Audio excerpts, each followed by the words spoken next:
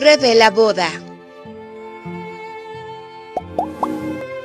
Bien guardadito se tenía Montserrat Olivier su boda con la modelo Yaya Kosikova. La modelo y conductora destapó su matrimonio con su pareja a través de una fotografía que compartió en su cuenta de Instagram. El amor es nuestro, la felicidad es compartida, el amor crece y se transforma. Esa transformación se llama compromiso, apoyarnos, acompañarnos y seguir luchando juntas. Hoy hace seis meses nos casamos y te elegiría una y otra vez. Love is love, escribió la regia. Para Montserrat, este es su segundo matrimonio el primero fue con un hombre. Encuentra aquí las noticias más importantes en Criterio Hidalgo y recuerda suscribirte a este canal y darle clic a la campanita para que no te pierdas ninguno de nuestros videos.